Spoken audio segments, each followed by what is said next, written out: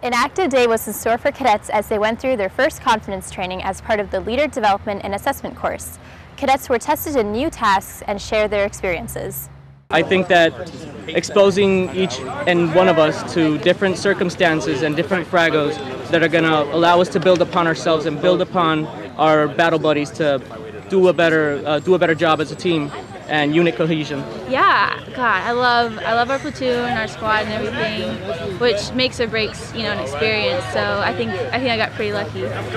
We're getting closer a lot faster than, than usual, uh, probably because we're all here for the same thing, trying to do well. I, I haven't been exposed back in my school too much to uh, an environment in which I can actually express myself to so many cadets at the same time. Here I've been afforded that opportunity, and it really gives me more, more confidence in myself.